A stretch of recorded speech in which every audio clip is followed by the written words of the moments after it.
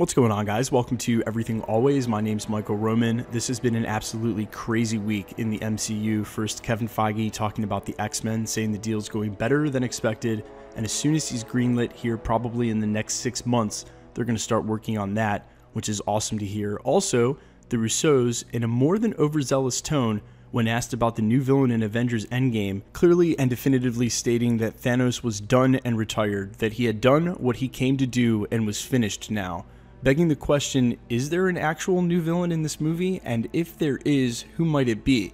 Now, we're going to go ahead and base everything today on the comics, but also cash in our favorite Than theory and play our own version of one of Marvel's most beloved series. What if Galactus is actually an Avengers Endgame? And if so, can the Avengers defeat him? Guys, this is not even close to one of the craziest theories surrounding Avengers Endgame, as there's actually a ton of comic book evidence for this. I'm going to break that all down and cast my vote for who would win in that fight. But first, if you could, hit the subscribe button. We're giving away two PlayStation 4 Pros, as well as a whole slew of other Marvel related stuff. All you have to do, hit the subscribe button, leave a like and a comment on this video, then smash the notification bell, and if you want, stick around to the end of the video, I'll get into all the giveaway stuff again there. Now, the linchpin to any argument or theory is the logic for which that argument or theory is based on, and without it, these theories sound very flat and flimsy. You could basically say any superhero or any supervillain is going to be an Avengers Endgame, but a lot of them wouldn't make sense. There would be no logic behind it, and there'd actually be no evidence for it. If you remember, this movie was originally called Infinity Gauntlet, and two of the main players from Infinity Gauntlet that have not made their appearance in the MCU, well, one pseudo has, is both Adam Warlock and Galactus. Yeah, that's right. Galactus is in Infinity Gauntlet. In fact, he's a major player and has more than one run in with Thanos. Even though he's defeated the first time, he returns with a whole posse to defeat him the second. Here you can clearly see on the cover of Infinity Gauntlet number 5, Galactus has returned with said posse to rematch with Thanos who is sitting in the foreground pointing up to him defiantly, still wearing the Infinity Gauntlet. So if we're basing this argument alone on comic book precedent, Galactus would actually be a forerunner for the new villain in Avengers Endgame. Another key piece of this argument is that the Avengers would not have to engage him in battle to have him be present in the movie. Remember, there's an all CGI character that converses with Doctor Strange that we have yet to identify. Now, some have guessed the Living Tribunal, such as myself, and I think my argument for that still holds clear. However, that could easily also be Galactus, and he doesn't have to be engaged in battle in this movie, but rather set up for a future fight down the road in Avengers 5 or 6. Introduce him as a looming threat who's been awakened by Thanos' snap the devourer of worlds who can now more easily devour worlds considering half of the universe's defenses have been diminished. This idea of Galactus showing up as a looming threat makes much more sense than him showing up in Act 1, say, than having to lead up to this finale battle between Thanos and Galactus and the Avengers. Even that seems just a little too impossible for the Russos and the writers to do any justice. But if we're willing to suspend disbelief on just that one key point for a second, then the only last obstacle we would have to hurdle is the tricky rights business that Galactus is actually still owned by Fox and will be until the Disney acquisition is complete. Like I said, some six months from now, when Kevin Feige said he would start working on the X Men. Here's the thing though. We know that some years back, Marvel Studios took meetings with Fox both before and after that most recent iteration of the Fantastic Four was released and flopped and it was heavily rumored they were specifically going after Silver Surfer and Galactus. While we don't know the exact particulars of what happened in those meetings, there was some loose confirmation that Fox received some properties for their TV shows, and presumably Marvel had to receive something in trade. Now, while that's all a moot point now, as Disney will be acquiring Fox and all of these properties will be under Kevin Feige's control, it's yet to be seen which characters, if any, were obtained that early in the game. However, if the rights to Galactus were obtained, then he easily could have been on the table during the writing process. We all know that Avengers Infinity War and Avengers Endgame were shot simultaneously. So the idea of them somehow trying to squeeze in Galactus now that this deal is about to go through, feeling like they're in the clear six months before it gets approved. Also, Disney is super smart and they know that things can fall apart at the last minute. That's why they haven't greenlit Kevin Feige to do a single thing with the X Men. Now, you can be guaranteed Kevin Feige's been having discussions.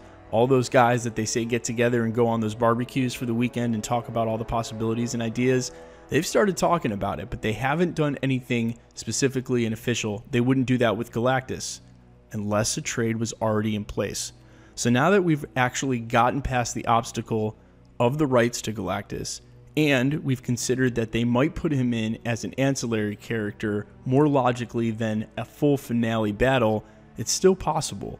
Like I said, the comic book precedence is one of the key things that I like to go off of, and I think that Marvel Studios has proven when and if at all possible, they do the same. Obviously, it's been super hard for them to translate all of the ideas and all of the characters. The Marvel Universe is so incredibly expansive, and even with 20 movies, there's just not enough time to do every character justice. We've also heard in the past characters like Adam Warlock and Beta Ray Bill have been in scripts. They've been very close to getting sent to CGI, but they just didn't want to work them in when it didn't make sense.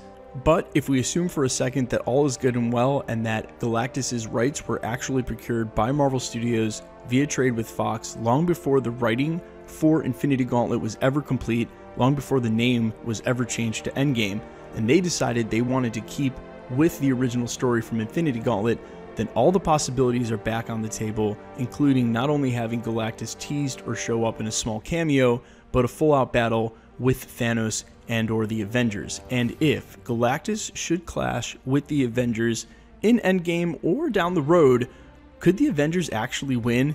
And that is a great question. Now Thanos has defeated Galactus in the past. Like I said, Thanos actually smashes him between two planets. And this is before Galactus comes back for the rematch. But there have been some other people who have defeated him along the way, namely Squirrel Girl. Yes, Squirrel Girl, the person who defeated Thanos also defeats Galactus. It's a little bit ridiculous. That's why I throw that in. Let's rule her out. But there have been some others. Now, if you guys remember, in the myriad of theories we've had flying around Avengers Endgame, the Marvel Zombies has been teased quite a bit, both because, well, half of the Avengers are dusted, but also because Hela can command the dead, and there was a thought that Thor might return, grab Hela, and Marvel Zombies, and they would take on Thanos. Well, those same Marvel Zombies actually defeated Galactus. It's an absolutely crazy comic book run.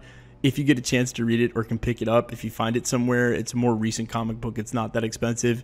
It's worth the read. It's crazy. Zombie Hulk is worth it just by himself. But there is an idea that the zombies could show up Avengers 4, and if they were to face Galactus, the precedence would be they would win. But let's rule them out for a second.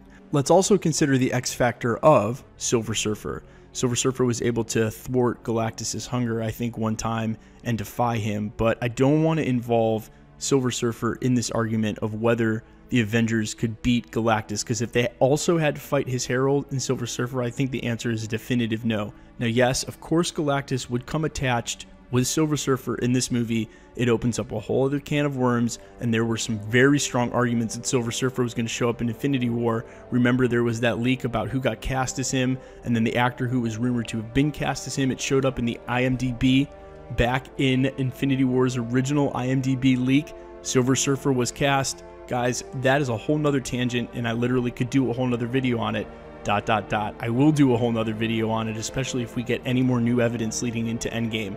But we have to leave that out for this argument because this argument is hard enough to write in the first place. So considering Silver Surfer as an X factor, but not knowing which side he would fall on. If he fell on the side of the Avengers, I think it's clearly in the Avengers' favor. If Silver Surfer's on the side of Galactus, I think it's clearly not. But the Avengers have Captain Marvel in this movie.